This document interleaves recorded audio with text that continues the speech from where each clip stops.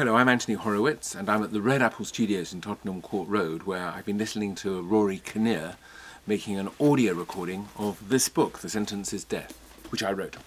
The Sentence is Death is the sequel to The Word is Murder, my second investigation with Detective Inspector Daniel Hawthorne. This time, a divorce lawyer is found murdered in his house in Hampstead, clubbed to death with an expensive bottle of wine.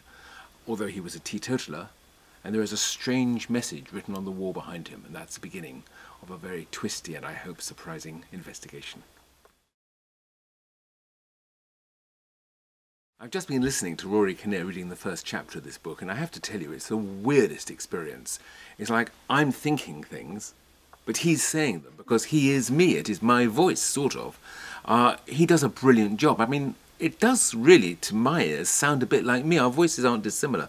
But that's not the point, of course, because Rory has to do all the characters in the book. Hawthorne, all the suspects, the killer, of course. Um, and he's brilliant. Uh, and it's just fantastic that we've got an actor of that calibre doing my book.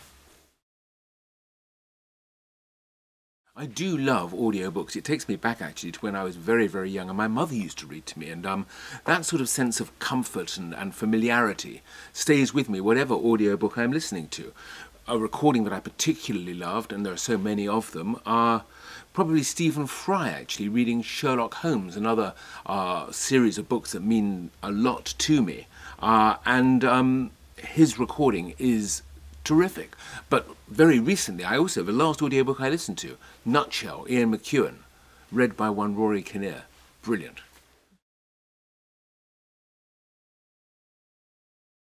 I like structure. When I write a book, I always begin with a structure. And I think if you're writing a whodunit, it becomes ten times more important. For me, the pleasures of a whodunit are that all the clues are there on the page, that you can see them, although hopefully you won't, and that when you get to the solution at the end, it's all been laid out for you. There are no cheats, no surprises, no tricks. And so with a book like The Sentence is Death, of course I know who did it from the beginning, and I, I sort of know how it's all going to flow. Uh, it's all fairly carefully worked out, and I hope that's why it'll surprise you.